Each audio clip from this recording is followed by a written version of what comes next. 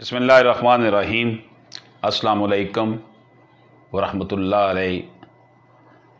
اللہ پاک کے ببرکت نام سے ہم آج کی گفتگو کا آغاز کرتے ہیں۔ اس سے پہلے کہ آج کے ٹاپک کی طرف آئیں، آپ سے گزارش ہے کہ اگر آپ نے ابھی تک میرا چینل سبسکرائب نہیں کیا تو اسے سبسکرائب کر لیں، بیل آئکن کو بھی کلک کر لیں۔ اور اگر آپ کو یہ گفتگو پسند آئے تو اسے آپ لائک بھی کریں کومنٹس بھی دیں فیڈ بیک دیں، تاکہ مزید جو ویڈیوز ہیں اس حوالے سے لیکچرز تیار کیے جائیں۔ ناظرین کرام، آج کا ہمارا ٹاپک بہت ہی امپورٹنٹ کہ پاکستانی قانون میں پولیس کی ذمہ داریاں کیا ہیں۔ 2017 میں پولیس آرڈر 2002 میں کچھ امینڈمنٹس بھی کی گئی ہیں۔ ہمارے ہاں پولیس کو ایز اے انسٹرومنٹ استعمال کرتے ہیں باثر افراد سرمایہ دار سیاستدان، اور اب رعایا کے اوپر انہوں نے اپنی عوام کو رعایا سمجھ کر ان کا استحصال کرتے ہیں، ان کو دباتے ہیں، تھانے کچہری کی سیاست کرتے ہیں۔ جس کی وجہ سے پولیس کا امپیکٹ ہماری سوسائٹی میں انتہائی جو ہے وہ خراب ہے۔ تھانے بکتے ہیں، علاقے بکتے ہیں اور چوری چوری، ڈکیتی، قتل کی وارداتوں میں پولیس کا اپنا ہاتھ ہوتا ہے۔ As a human rights activist مجھے بہت سے کیسز میں اس طرح کی چیزوں کا سامنا کرنا پڑتا ہے۔ اینی ہاؤ اس کے ساتھ ساتھ یہ بھی عرض کر دوں کہ پولیس کی دہشت گردی کے خلاف امن و امہ کے حوالے سے بھی قربانیاں ہیں۔ دہشت گردی کے خلاف بہت سے پولیس جوان آفیسر شہید ہوئے ہیں۔ ہم ان کو سلیوٹ پیش کرتے ہیں۔ ایکسیپشنل کیسز ہر جگہ ہوتے ہیں۔ اچھے لوگ بھی ہر ڈپارٹمنٹ میں ہوتے ہیں۔ قصور پولیس کا نہیں ہے۔ ان کے اوپر یہ جو سرمایہ دار بیٹھے ہوئے ہیں، وڈیرے بیٹھے ہوئے ہیں، بیوروکریٹ بیٹھے ہوئے ہیں، یہ جو سیاستدان بیٹھے ہوئے ہیں، یہ ان کو اپنے مقاصد کے لیے استعمال کرتے ہیں۔ جو پولیس آرڈر ہے، اس کی جو سیکشن تین ہے، اس میں پولیس کے جو رویے کی بات کی گئی ہے کہ عوام کے ساتھ شائستگی اور عزت سے پیش آنا، عوام کے ساتھ دوستانہ رشتہ قائم رکھنا، ایسے مجبور افراد یا بچے جو کمزور و لاغر ہیں یا غریب ہیں یا معذور ہیں، ان کی مدد کرنا۔ اگر پبلک مقامات پر یا گلیوں میں جسمانی معذور یا چھوٹے بچے بے یارو بے یارو مددگار ملیں تو ان کی مدد کرنا۔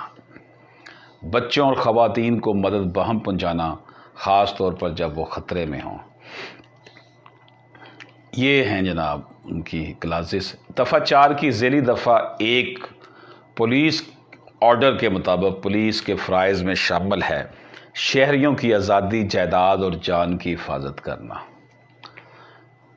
عوامی سطح پر امن و امان قائم رکھنا۔ ایسا شخص جو پولیس کی حراست میں ہو، اس کے حقوق اور سہولیات کا قانون کے مطابق خیال رکھنا۔ جرائم کو روکنا اور عوامی تکالیف کا اعادہ نہ ہونے دینا۔ جرائم بھی نہیں رک رہے۔ عوامی تکالیف کا اندازہ آپ لگا لیں۔ کہ میں یہ کیپٹل سٹی لاہور میں ہوں۔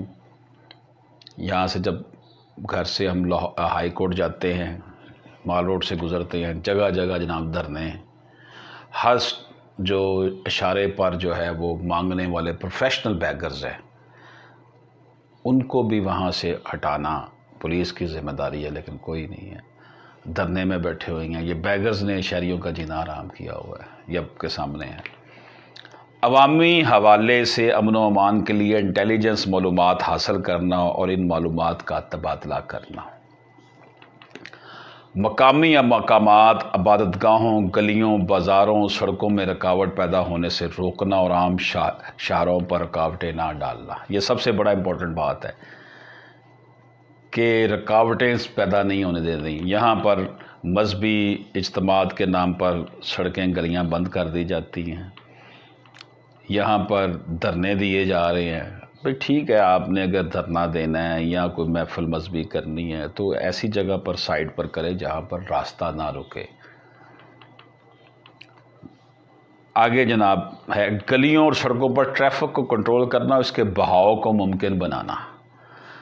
لاوارس جائیداد و اشیاء کو قبضے میں لینا اور اس کا ریکارڈ رکھنا۔ مجرموں کو تلاش کر کے انصاف کے کٹہرے میں لانا۔ ان افراد کو گرفتار کرنا جن کو گرفتار کرنے کا پولیس کو حق ہے اور ان کی گرفتاری قابل وجہ بھی ہونی چاہیے۔ جس شخص کو گرفتار کیا گیا ہو، وہ اپنی گرفتاری کی بابت کسی کو اطلاع کرنا چاہتا ہے تو پولیس کا فرض ہے کہ وہ اس بات کو یقینی بنائے کہ متعلقہ شخص اطلاع، متعلقہ شخص تک اطلاع پہنچنی چاہیے یعنی کسی کو گرفتار کر لیا۔ تو وہ اپنے گھر اطلاع دینا چاہتا ہے یا کسی کو کمیونیکیٹ کرنا چاہتا ہے یا کسی اپنے وکیل سے رابطہ کرنا چاہتا ہے، تو یہ ان کا فرض ہے پولیس کا کہ اس کو یہ سہولت دے۔ پولیس کو یہ اختیار حاصل ہے کہ کسی بھی پبلک مقام، دکان وغیرہ کو بغیر وارنٹ چیک کر سکتی ہے، جس کے مطلب یہ قابل اعتماد اطلاعات ہوں کہ ان مقامات پر شراب یا منشیات فروخت ہوتی ہیں یا پی جاتی ہیں، یا اسلحہ کا ذخیرہ غیر قانونی طور پر کہیں موجود ہے۔ تمام جو قانونی احکامات ہیں لیگل آرڈرز ہیں آرڈرز تو ظاہر لیگل ہی ہوگا، ان پر عمل درآمد کرانا۔ قانون کے دائرے میں رہ کر وقتی طور پر کوئی بھی حکم دیا جائے، اس کی بجاوری پولیس کا فرض ہے۔ اس کے بعد جناب قدرتی آفات سے تباہی یا تشدد وغیرہ سے پبلک پراپرٹی کو بچانے کے لیے مدد فراہم کرنا۔ یہ کام ہم فوج سے لیتے ہیں، جب بھی کوئی زلزلہ آتا ہے، سیلاب آتے ہیں، تباہی آتی ہے، تو فوج کو، کیونکہ ہماری پولیس کے پاس اتنے وسائل نہیں ہیں اکوپمنٹ نہیں ہیں، اور اتنی وہ ٹرینڈ نہیں ہے عوام کو کسی بھی ادارے یا گروپ کے استحصال و دھوکہ دہی سے بچانا۔ یہاں پر جناب ہر گلی میں، ہر بازار میں وہ جناب جیلی پیروں کے لگے ہوئے ہیں فلیکس اور وہ جناب سر عام لوگوں کو لوٹ رہے ہیں۔ اس حوالے سے کوئی ایک قانون سینٹ میں پڑا ہوا ہے، اس کے اوپر بھی عمل درآمد نہیں ہوا۔ اور پولیس کو بھی پتہ ہے کہ یہ سب فراڈیے جو ہے نا، پیروں کا روپ دھا کر عوام کو لوٹ رہے ہیں۔ وہ بھی ہمارے سامنے ہے اور پھر یہ جو دکاندار، جو بلند و باغ دعوے کر کے لوگوں کو لوٹتے ہیں۔ پولیس کا فرض ہے کہ ان کو پکڑے۔ معاشرے کے ذہنی طور پر معذور افراد کے جان و مال کی حفاظت کرنا۔ پبلک مقامات پر عورتوں اور بچوں کو ہراساں ہونے سے بچانا، یہ بازاروں میں بس سٹاپوں پر۔ اسی طرح جناب، سیکشن جو ذیلی دفعہ چار کی ذیلی دفعہ دو ہے کہ پولیس آفیسر ہنگامی صورتحال میں خواتین اور بچوں کی مدد کرے گا۔ سڑک پر ایکسیڈنٹ کے شکار لوگوں کی مدد کرے گا۔ حادثات میں متاثرہ افراد اور ان کے لوحائقین کی مدد کرنا۔ اور ایسی ہر طلاع دینا جس سے ان کی مدد ہو سکے اور معاوضے کے کلیم کرنے میں ان سے تعاون کرنا۔ سڑک پر حادثات سے متاثرہ افراد کو ان کے حقوق اور سہولیات کے بارے میں آگاہی دینا۔ دفعہ چار کی ذیلی دفعہ تین police order two thousand two کے مطابق پولیس افیسر کا فرض ہے کہ اگر اس کے علم میں کوئی ایسا شخص ہے جو کہ کسی جرم میں ملوث ہے تو وہ پولیس افیسر اس کی اطلاع مجاز عدالت کو دے گا۔ اور قانون کے مطابق وارنٹ سرچ وارنٹ سمن وغیرہ کے لیے عدالت میں درخواست دے گا۔ پولیس چادر اور چار دیواری کے تقدس کو پامال نہیں کر سکتی۔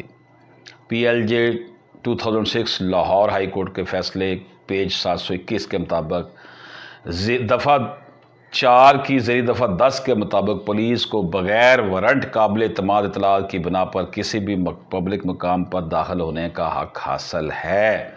لیکن اس کا اختیار کا مطلب یہ اس اختیار کا مطلب یہ نہیں کہ نجی آتے یا گھر میں پولیس داخل ہو سکتی ہے۔ پبلک مقامات پر تو ہو سکتی ہے، لیکن ٹریس پاس نہیں کر سکتی۔ دفعہ پانچ کی ذیلی دفعہ ایک کے مطابق حکومت سرکاری گزٹ میں اگر کوئی ہنگامی نوٹیفیشن جاری کر کے پولیس کو خاص ٹاسک انجام دینے کا کہتی ہے جو کہ معاشرے کے افراد کے لیے ضروری عمل ہو۔ پولیس اس حکم کو مانے گی۔ دفعہ پانچ کی ذیلی دفعہ دو کے مطابق کلاس ون کے حکم کے مطابق ایمرجنسی حالات میں پولیس اپنے سینئر پولیس آفیسر کا حکم مانے گی۔ دفعہ چار اور دفعہ پانچ پولیس آرڈر الفاظ کی حد تک تو انتہائی پر مغز اور امید فضا ہے۔ لیکن جب اس تھیوری کو عملی حالت میں دیکھا جاتا ہے تو یہ بات محسوس ہوتی ہے، یہ سب کچھ اس معاشرے میں قابل عمل نہیں۔ جب پولیس نے اپنے فرائض کی ادائیگی پریشر میں کرنی ہے، جب ہر ایم این اے اور ایم پی تھانے دار کو اپنی انا کے اشاروں پر چاہتا ہے تو امن و امان کیسے قائم رہ سکتا ہے؟ یہ آرٹیکل جی میری کتاب قانون کی حاکمیت میں بھی ہے اور قانون کی حاکمیت کے page number one thirty six میں یہ آرٹیکل بھی آپ کو مل جائے گا۔ اور اس آرٹیکل میں جیسے کہ ہم نے دیکھا کہ police order two thousand two کی جو دفعات ہیں، ان کا ہم نے تذکرہ کیا کہ پولیس کی ذمہ داریاں کیا ہیں۔ پولیس کا جو کردار آئین و قانون میں متعین کیا گیا ہے، اس کے مطابق پولیس تو کسی فرشتے سے کم نہیں ہے۔ لیکن یہاں پر اگر کسی کے ساتھ کچھ زیادتی ہوتی ہے، جرم کوئی سرزد اس کے خلاف ہوتا ہے، کوئی لوٹ مار ہوتی ہے، تو وہ بیچارہ کہتا ہے کہ میرے ساتھ تو جو ہونا تھا ہو گیا، اگر میں پولیس گیا یا تھانے کچہری کے چکر میں پڑا تو میں اور رول جاؤں گا، اس لیے وہ چپ کر کے بیٹھ جاتا ہے۔ اس لیے میں نے یہ لاہور ہائی کورٹ کے ایک پروگرام میں بھی یہ شعر پڑھا تھا، تو بہت سے لوگ سیکھ پا ہو گئے تھے کہ یتیموں کو نہیں پالا ہواری پال رکھے ہیں۔ امیر شہر نے کتے شکاری پال رکھے ہیں۔ ناظرین کرام، اللہ تعالیٰ کرم کرے، اللہ ایسا وقت لائے کہ پولیس کو پریشر سے آزاد ہو اور پولیس اسی طرح شہریوں کی حفاظت کرے، جس طرح آئین اور قانون کہتا ہے۔ میں یہ سمجھتا ہوں، ذاتی طور پہ پولیس کا اس میں قصور بالکل نہیں ہے۔ یہ بعض سرفراد یہ سیاستدان، یہ بیوروکریٹس یہ وہ لوگ جو سیاست کرتے ہیں، کاروبار کرتے ہیں کالا دھن کرتے ہیں، انہوں نے اس کو جو ہے نا گھر کی باندھی بنایا ہوا ہے۔ جس کی وجہ سے عوام تک پولیس کے مدد کے سمرات نہیں پہنچ رہے۔ پولیس کا جو کام ہے، اس کو بیچاری کو نہیں کرنے دیا تھا۔ بدنامی پولیس کی ہے، بدنام پولیس ہوتی ہے۔